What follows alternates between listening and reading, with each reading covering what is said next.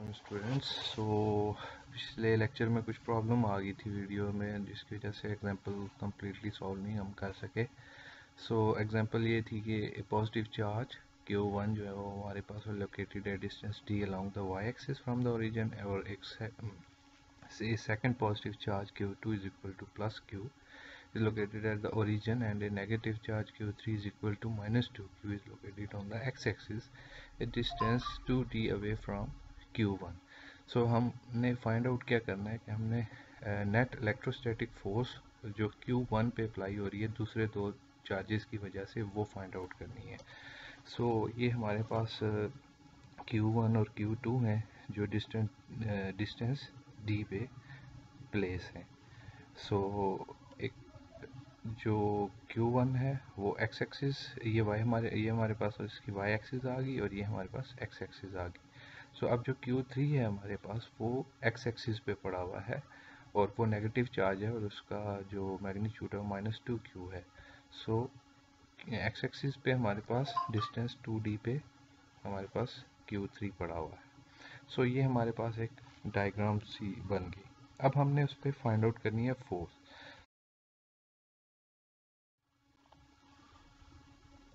अब जो F2 force है उसकी डायरेक्शन क्या है?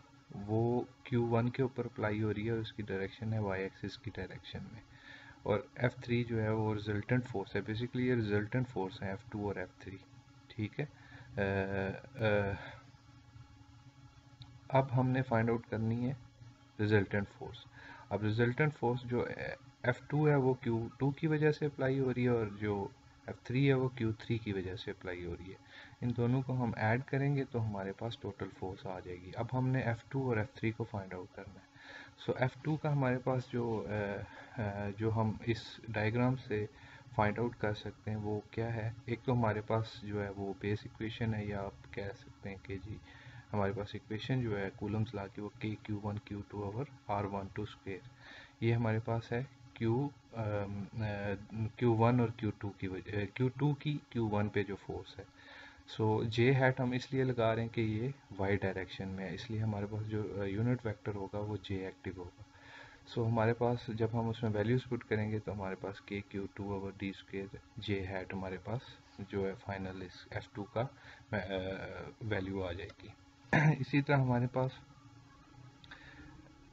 एक ये हमारे पास बन जाएगा F3 की वजह से। एक एक्स एक्सिस में हमारे पास एक कंपोनेंट है, ये जो एरो आपने अभी देखें एक वाई एक्सिस में है। सो हमारे पास क्या F3 क्या आ जाएगी? F three x i plus F three y j means कि आई एक्स एक्सिस पे भी इसका कंपोनेंट अवेलेबल है और वाई एक्सिस पे भी इसका कंपोनेंट अवेलेबल सो हमारे पास एफ़ थ्री एक्स क्या आ जाएगा? हम एंगल थीटा आ गया हमारे पास सो हम इसको इस तरह से लिख सकते हैं। कि जो हमारा एक्स एक्सिस पे कंपोनेंट है, उसके साथ हम कर सकते हैं एफ़ थ्री कॉस थीटा और जो हमारा वाई एक्सिस पे कंपोनेंट होता है, उसके साथ हम एफ़ थ्री साइन थीटा से उसको रिप्रेजेंट करते थे। माइनस सात जो साइन आ जाएगा। ठीक है? सो हमारे पास ये आ गया। अब हम इसके अंदर एफ़ थ्री की वैल्यू पुट कर देते हैं, वो हमारे पास ये है।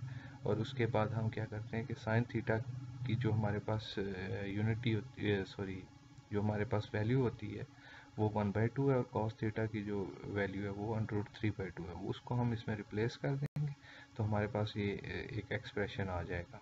ठीक है? इस एक्सप्रेशन को आप देख सकते हैं, सिर्फ़ वैल्यूज़ रिप्लेस की हैं। हमारे पास इसको फर्दर सिंप्लीफाई किया गया और ये हमारे पास सिंप्लीफाइड वर्जन में आ गया। Under three by four k q square और d square i hat minus one over four k q square और d square j hat so i hat means के यूनिट वेक्टर है एक्स एक्स एक्सिस पे है और जे hat का मतलब ये है कि ये यूनिट वेक्टर है वाई एक्सिस पे जो हमारे पास वैल्यू आ रही है उसकी सो so, इन दोनों को हम एडअप करेंगे तो हमारे पास फाइनल रिज़ल्ट ये आ जाएगा F is equal to under three by four k q square और d square i hat plus three by four k q square और d square j hat j hat वाले component आपस में add हो जाएँगे। और जो एक्स एक्सिस वाला है वो उसी तरह से रहेगा। तो ये हमारे पास फाइनल फोर्स आ गई क्यू वन के ऊपर क्यू टू और क्यू थ्री ठीक है? सो ये आप चीज़ें देख लेंगे इसके अंदर